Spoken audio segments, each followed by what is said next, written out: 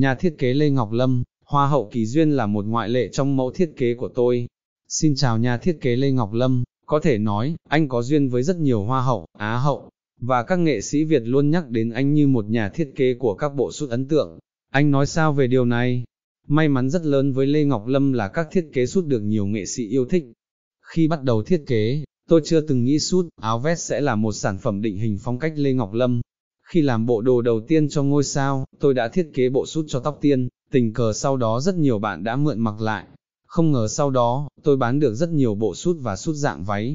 Những bộ đồ nữ sút mới hơn, trẻ hơn, không bị cứng nhắc, tôn đường cong cơ thể của người phụ nữ là quan điểm thiết kế của tôi. Sắp tới, tôi có dự án sút cho cuộc thi Miss World Việt Nam.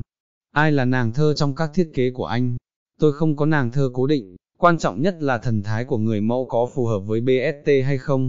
Người mẫu Việt Nam tôi rất thích mặc dù chưa từng cộng tác đó là Thủy Trang Next Top, tôi rất thích thần thái của chị ấy.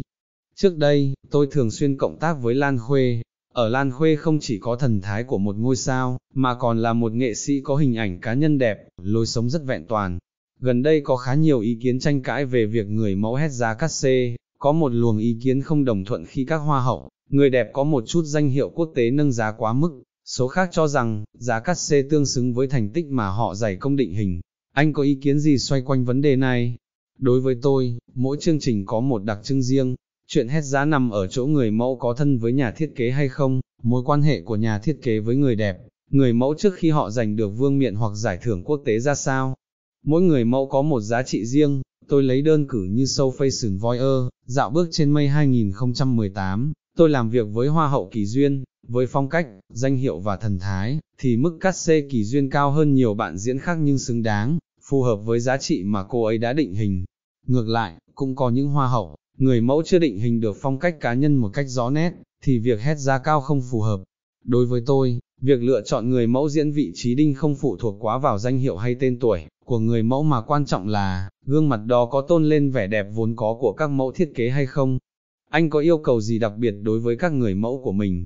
Đối với tôi, người mẫu có thể gương mặt không quá đẹp nhưng hình thể phải đẹp, Chiều cao 1M75 1M76 1M78 là đẹp với số đo 3 vòng 80 62 90 là chỉ số vàng. Vòng 1 của người mẫu có phải là yếu tố quan trọng đối với các thiết kế của anh? Người mẫu có vòng 1 càng nhỏ thì trình diễn các thiết kế càng đẹp, vì các thiết kế của tôi thiên về thanh lịch. Với tôi, vẻ đẹp không nằm ở tính phồn thực. Vậy Hoa hậu Kỳ Duyên là một cơn gió lạ, một ngoại lệ với anh. Khi gặp Kỳ Duyên, đúng là khí chất, thần thái, Phong cách chuyên nghiệp, sẽ khiến người ta bỏ qua tất cả những thứ bên ngoài, chỉ tập trung vào những bước đi lạnh lùng và đầy mạnh mẽ, kiêu hãnh của cô ấy. Kỳ Duyên là một trường hợp đặc biệt mà các nhà thiết kế đều yêu thích. Sau một năm gây ấn tượng với BST tại sâu thời trang Fashion Voyeur, dạo bước trên mây tại Cầu Vàng, Đà Nẵng, hiện tại anh đang bận rộn với những dự án gì? Hiện tại, tôi đang chuẩn bị trình làng BST lấy cảm hứng từ đại dương, với gam màu chủ đạo là hồng, cam, trắng, họa tiết là những chi tiết từ đại dương như san hô, sao biển, đây là những thiết kế vì sọt dành cho mùa hè được tôi lấy cảm hứng, từ chuyến đi chơi Phú Quốc. Bên cạnh đó, tôi đang ấp ủ cho sâu diễn cá nhân dự định diễn ra vào tháng 11. Tôi sẽ ra mắt BST lấy cảm hứng từ thập niên 20 với hình ảnh ngôi sao Audrey Hepburn. Cuối năm là thời điểm của những bộ đồ dự tiệc. Sâu diễn cá nhân luôn ngốn của các nhà thiết kế không ít thời gian, tâm sức, tiền bạc, anh đã chuẩn bị cho mình như thế nào? tôi đã phải chuẩn bị kinh tế từ rất sớm. Về cá nhân, sau 2 năm trong ngành thời trang, tôi rút ra nhiều bài học cho mình và định hình được khách hàng ưa thích, tập trung vào đối tượng khách hàng chính là nữ doanh nhân, đó là những người có gu thời trang riêng, thích phong cách thanh lịch, cổ điển.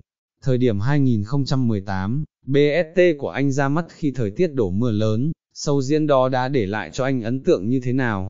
Hôm diễn ở cầu vàng, trời mưa lớn, ban đầu tôi rất lo nhưng mọi người nói có mưa là may mắn, ngay sau sâu, khán giả đã hỏi mua hết BST, quan trọng hơn cả là tôi đã vượt qua được giới hạn bản thân. BST được thực hiện gấp rút chỉ trong 20 ngày và tôi nhận ra thế mạnh của mình, tập trung vào xử lý bề mặt vải đó là cá tính riêng, phong cách riêng của tôi. Tham dự mùa 2 của Fashion Voyeur với tư cách khán giả, quan sát đồng nghiệp của mình có sự thay đổi liên tục về sân khấu thời trang, đưa khán giả ra một hòn đảo hoang để thưởng lãm, anh thấy sao về điều này?